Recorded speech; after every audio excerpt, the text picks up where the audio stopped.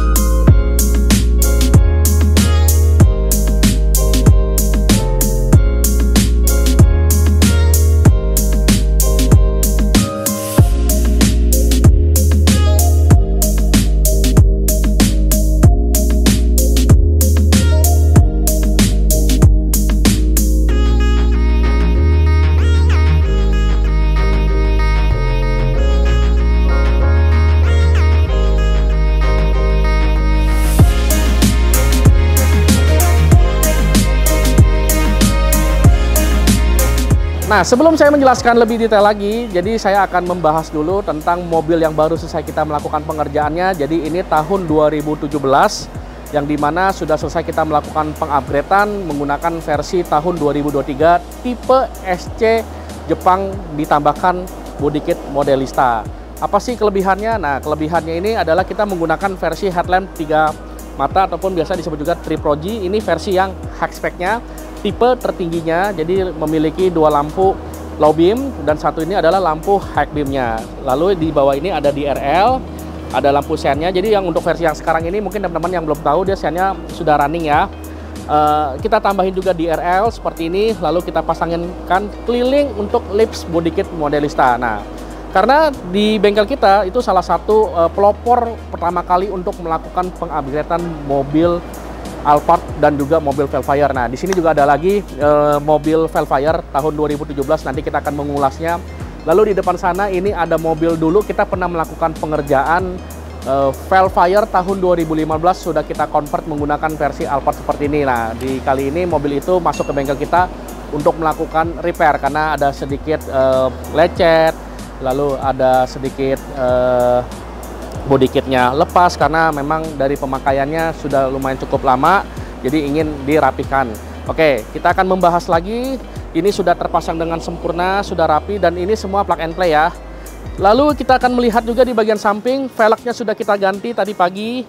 Velgnya e, digantikan dengan yang terbaru supaya mobil ini benar-benar kelihatan e, tidak kelihatan mobil ini bahwa apakah sudah di-upgrade atau belum. Kalau kalian harus melakukan pengupgradean velg seperti ini Sampingnya sudah terpasang dengan rapi, dengan sempurna. Ya, untuk di bagian sampingnya, lalu untuk di bagian belakang yuk kita akan lihat. Nah, untuk di bagian belakang ini kita ada melakukan pergantian eh, terutama di bagian bumper belakang karena ini tipe G ya.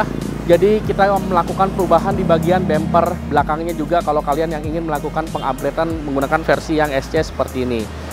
Kita tambahin juga body kit belakangnya dan ini ada double mufflernya di sebelah kanan Pokoknya kalau untuk melakukan modifikasi seperti ini, mobil akan lebih kelihatan glamor guys ya. Untuk di bagian stop lamp kita ganti dan ini full LED. Sennya juga sudah running. Ya, kita hidupin lampu senjanya coba. Oke, nyalanya seperti ini. Garnish chrome kita ganti. Dan si owner ini berasal dari Kalimantan. Jadi dia eh, habis kita review ini mobilnya mau langsung dikirim ke Kalimantan. Karena ini pergi si owner juga suka dengan tipe yang SC Jepang uh, di bagian emblemnya kita lepasin yang berlogo G jadi ini udah benar-benar polos. Pokoknya tampilan semua khususnya untuk bagian eksterior tidak bisa kalian tahu lagi bahwa apakah ini benar-benar tipe G atau versi yang uh, SC punya ya. Tentunya pemasangan pun harus rapi dan poin-poinnya apa aja sih yang harus kalian perhatikan. Jadi gini, karena banyak juga eh, akhir-akhir uh, ini banyak banget kalau kalian yang mungkin bisa melihat di berbagai konten ataupun di berbagai marketplace yang melihat uh, beberapa orang bisa untuk melakukan pengupgradean. Betul, semua bisa karena spare part ini adalah plug and play dan yang kalian harus diperhatikan adalah dari segi kualitas barang tersebut karena barang seperti ini banyak banget grade-grade-nya kualitasnya yang nomor satu, yang nomor dua, bahkan yang nomor tiga itu banyak banget. Lalu yang kedua yang kalian harus diperhatikan adalah track record tersebut. Apakah e, sudah berpengalaman untuk melakukan pengerjaannya atau belum? Lalu mengenai tentang kualitas pemasangannya, instalasinya apakah benar-benar rapi atau tidak ya, itu jelas kalian harus diperlihatkan. Nah, yang terakhir ini poin yang sangat penting. Apakah bengkel tersebut menyediakan spare part eh, apabila mobil ini ada terjadi kerusakan. Nah, kalau di kita semua kita lengkap. Contohnya, misalkan eh, terjadi insiden seperti mobil di depan sana ya, ada beberapa insiden eh, keruman ininya pecah ataupun patah, lalu di body kit belakangnya eh, rusak ataupun di bagian sampingnya rusak kerum-kerumannya ya pokoknya keseluruhan semuanya ini ada terjadi rusak tenang, di bengkel kita semua kita menyediakan parts-parts tersebut. Jadi kita juga sudah memberikan spare apabila customer yang terjadi e, kecelakaan ataupun terjadi nabrak, namanya mobil kan di bawah jalan pasti ya ada insiden ya. Nah, semua kita menyediakan parts-part tersebut. Jadi kita semua sangat lengkap untuk melakukan e, penyediaan spare part tersebut. Oke. Okay? Dan ini semua uh, sudah kita QC ulang karena kita selalu mengutamakan dari segi kualitas karena kembali lagi saya suka bilang beda tangan tuh beda hasil pengerjaannya. Teman-teman bisa tentuin juga karena kalau misalkan kita melihat ya, melihat shoot seperti ini uh, pasti akan tampak rapi uh, dan juga sempurna. Nanti di akhir video kita akan menunjukkan hasil kedetailan dari pengerjaan kita. Nah, sini saya akan nunjukin sedikit. Nah, ya. Nah, hasil rapi pengerjaan kita ini harus benar-benar kita jaga kerapihannya, karet-karetnya, body kit body kitnya. Jadi ini benar-benar merekat sekali. Saya jamin nggak mungkin lepas. Kalau misalkan amit-amit lepas, walaupun karena pemakaian e, terlepasnya, kalian nggak usah khawatir bahwa ke bengkel kita akan kita e, rapiin semua. Kita akan service full kepada kalian semua ya dan di bagian catnya kalian harus diperhatikan juga apakah benar-benar white look atau tidak. E, lalu juga fungsi lampu seperti apa apakah normal atau tidak. Nah itu poin-poinnya harus diperhatikan. Jadi jangan sampai kalian e, kita suka bikin juga ya video ya. Kadang-kala kita bikin video e, pengerjaan di bengkel lain komplain di kita itu bukan cuma satu dua aja itu lumayan cukup banyak banget.